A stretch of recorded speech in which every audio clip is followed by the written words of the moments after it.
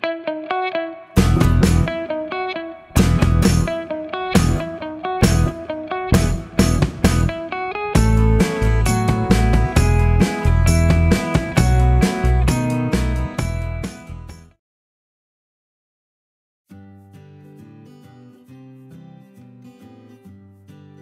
semua, jumpa lagi di Dapur Leoni. Di video kali ini saya berbagi resep selai serikaya pandan. Ini mudah sekali membuatnya, hanya membutuhkan waktu kurang lebih 15 menit. Dengan tiga bahan utama saja, yaitu santan instan, kuning telur, dan gula, kita bisa membuat selai serikaya pandan sewaktu-waktu di rumah. Selain saya berbagi resep dan cara membuat selai serikaya pandan, di video kali ini saya juga akan memberikan info terbaru yang mungkin bermanfaat buat teman-teman di rumah. Tonton sampai habis ya. Sebelum nonton, jangan lupa subscribe, like, komen, dan share, serta tekan tombol loncengnya untuk mendapatkan notifikasi video terbaru. Pertama-tama, kita siapkan 3 kuning telur,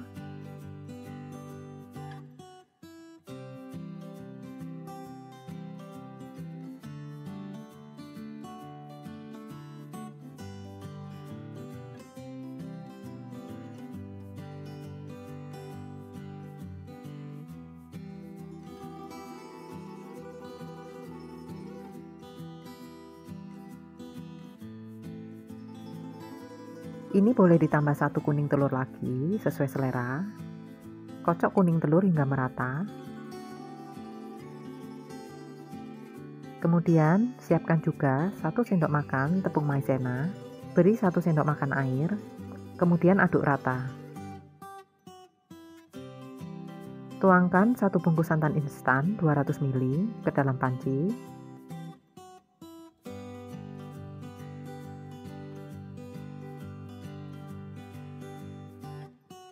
Ini saya beri sedikit air supaya sisa santannya bisa larut.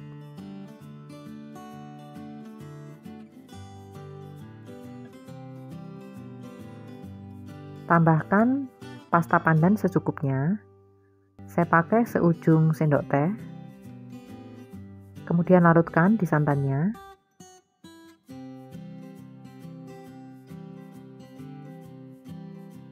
Masak santan dan gula 125 gram dengan api kecil.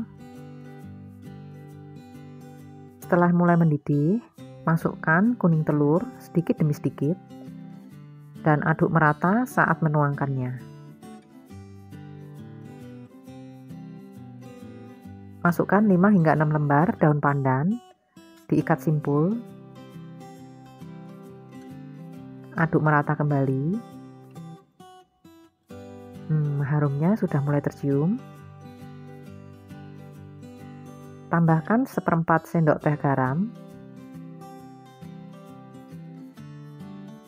Boleh ditambah vanila ekstrak satu tetes supaya lebih wangi.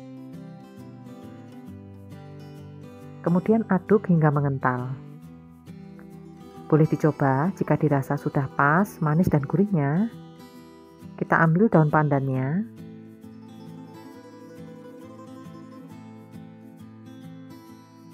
Kemudian tuangkan larutan tepung maizena. Aduk merata kembali. Nah, hingga teksturnya menjadi seperti ini ya. Matikan apinya. Biarkan hingga dingin. Setelah dingin, selainya saya tuang di mangkuk. Tekstur selainya menjadi lebih pekat saat kondisinya dingin ini cocok untuk olesan roti ataupun isian roti dan bisa juga dihidangkan dengan bakpao kapit.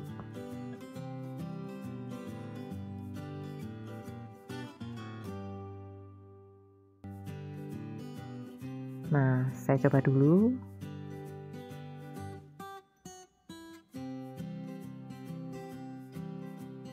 Rasanya manis dan gurih serta wanginya pas. Gampang sekali kan membuatnya?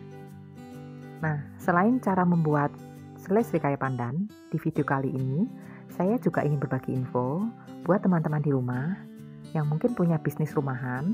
Di tengah pandemi seperti ini, ada aplikasi baru, yaitu aplikasi toko yang dapat memberikan solusi untuk kita, di mana kita bisa membuat toko online dalam waktu singkat, sekitar 15 detik.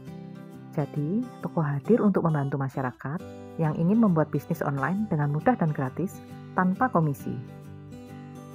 Toko bukan semacam e-commerce ya. Dengan memiliki akun toko, akan memudahkan kita untuk mengelola produk, menambahkan foto produk ataupun detail keterangannya. Bisa mengubah harga sewaktu-waktu dan mengupdate jumlah stok yang ada. Nah, kita dapat membagikan link toko kita melalui akun media sosial kita, yaitu Instagram, Facebook, ataupun WhatsApp. Langsung saja ya, saya coba buat toko online di aplikasi toko. Pertama buka Play Store, cari aplikasi toko dengan tulisan double K.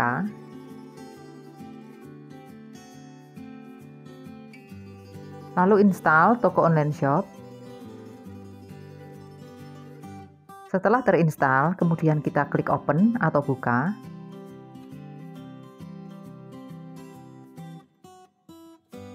Masukkan nomor WhatsApp. Kemudian pilih kode OTP via WhatsApp ataupun via SMS. Saya pilih dikirim via SMS. Lalu masukkan kode OTP yang sudah dikirim melalui SMS. Klik verifikasi nomor saya. Lalu masukkan nama tokomu, misalnya saya tulis Dapur Leoni. Untuk tipe bisnis, saya pilih makanan dan minuman. Tambahkan alamat bisnis. Kemudian klik simpan. Kemudian klik buatkan toko saya. Setelah muncul tampilan seperti ini, kita bisa menambahkan produk. Klik tambahkan produk. Kemudian upload foto produknya.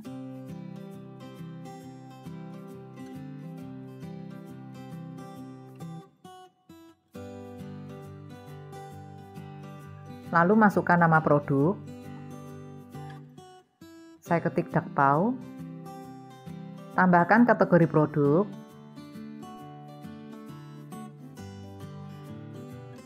Saya tambahkan kategori bakpao, kemudian simpan. Masukkan harga produk, serta cantumkan deskripsinya di kolom deskripsi. Kemudian klik tambahkan produk. Setelah muncul tampilan seperti ini, pilih gaya tampilan produk dalam bentuk daftar ataupun kolom.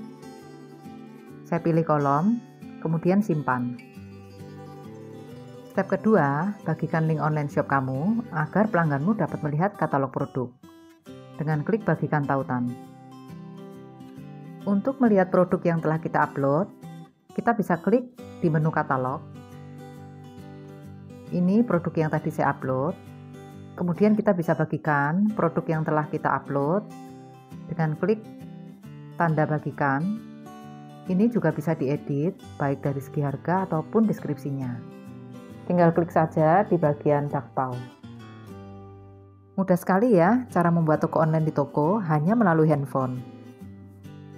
Nah, semoga info ini bermanfaat buat teman-teman yang memiliki bisnis online rumahan sehingga meminimalisir kita bertemu dengan customer di era pandemi ini. Semoga bermanfaat ya. Terima kasih.